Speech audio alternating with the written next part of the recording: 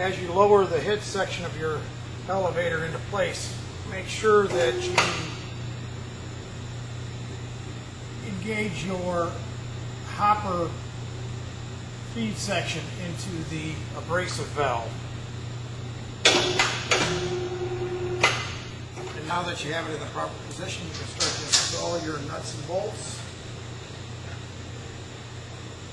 And secure them. Reach down the elevator hook on and get a hold of the elevator belt and start bringing it up to put over the shaft and the shiv.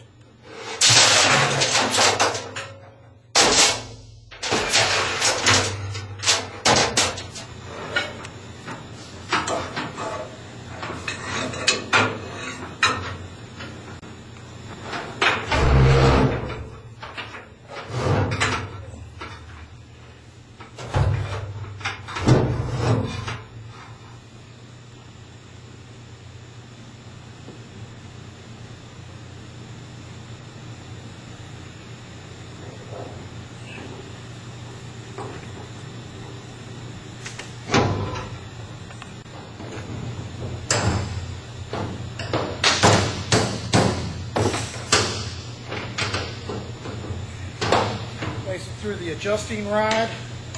Put your nut on there, your washer and your nut.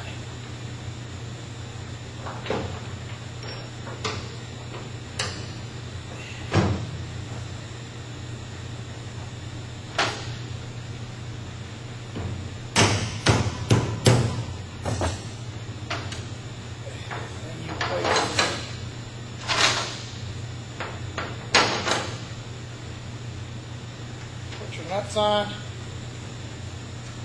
Tighten them up. Actually, you don't want to tighten them completely because you want to leave them a little bit loose so that you can adjust your adjusting rods up and down for tensioning your belt. Um, after you put these on and run them down a little bit, um, then you want to tighten up your set screws on the other side. You then tighten up your set screws on your bearing on this side and make sure um, it's probably a good rule of thumb that after your assembly you go around and check all the set screws on the entire machine as they will vibrate during shipping and possibly come loose and you should probably also check them at least once a month during your general maintenance. Now that you have your shaft in place, you want to adjust your tensioning rods for the belt. Um, there's two tensioning rods, one on each side. You adjust them evenly, adjust this side up, and you adjust this side also. You want to bring them up equally.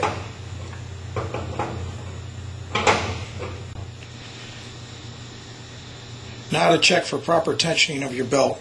Reach down into your elevator section, grab a hold of the belt, pull it to the wall, let it go, and if it does not come back and strike the wall, your tensioning should be okay. You tighten up the clamp from the hopper to the abrasive valve. Now to install the dust collection tube that goes from the main body of the machine up to the elevator section for the air wash. Install just like that. Sleeve up in there.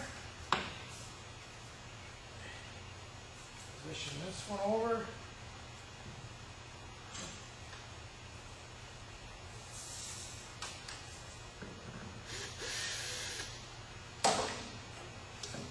Can't clamp. Slide the rubber hose over. Tighten the clamp.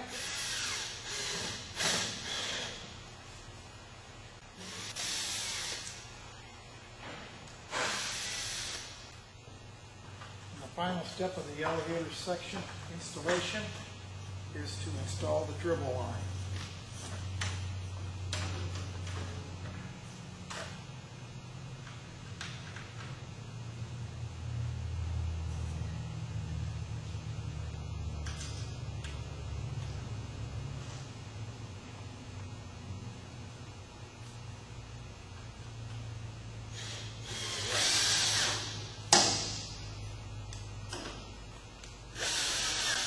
The next step is to install the air cylinder that operates the vertical lift door.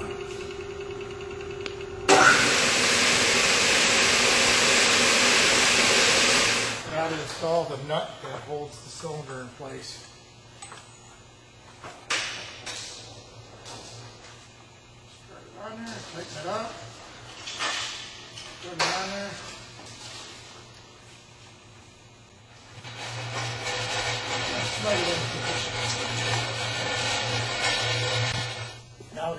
The rod end of the cylinder into the clevis. Remove the duct tape. Set stuff on the cylinder. Install the locking nut.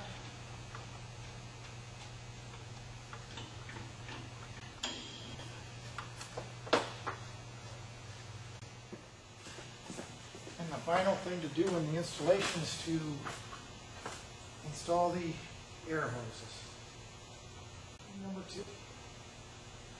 You have now completed the installation of the air cylinder. Now that you have your dust collector in place, you're bringing the motor wires into your control cabinet. They connect accordingly.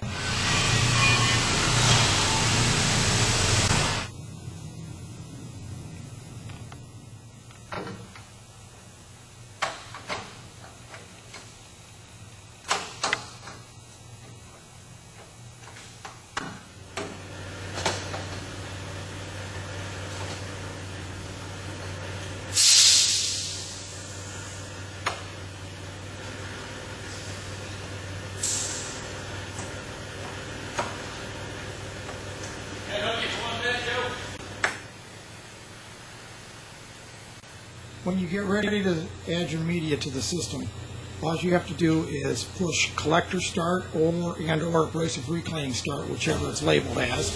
That'll start your elevator system and your dust collector. You then either use a bucket to get out your media and just put it right into the barrel of the machine. And the abrasive will flow right through the mill belt holes and back up through the reclaim system and your hopper. Now that you've filled your machine up with media, and you'd like to set check the blast pattern, um, you can take a piece of ductwork or a flat piece of steel, whichever you'd like, set it back into the machine so that is is directly underneath the blast wheel. We're going to use a little piece of angle iron to wedge the piece of ductwork back into the mill so that it is directly underneath the blast wheel housing. And now that you have done that, the next step is to start your collector or abrasive reclaim system. The next step is to manually hold the safety lock switch and turn your selector switch from the door to the closed position and push on the door close button. After your door is closed, can then turn the mill drive selector switch to the off position. That way your mill will not run, but you can still run the blast wheel. Next, you push the blast wheel start button, set your abrasive timer to approximately 30 seconds. This may vary depending upon the type of media you're using, but 30 seconds is a good starting time the abrasive horn has now sounded, which means the abrasive brake is on, which helps stop the blast wheel. Horn stops sounding, that means that it is safe to open up your GOFF shot blast machine door. You then turn your selector switch to the open position and your door will open automatically. Now in order to check to see exactly where the hot spot is on your blast pattern, you put one hand at each end of the ductwork and work towards the middle. You will feel the hottest part, which is, should be in the middle. If it is in the middle, then your blast pattern is correct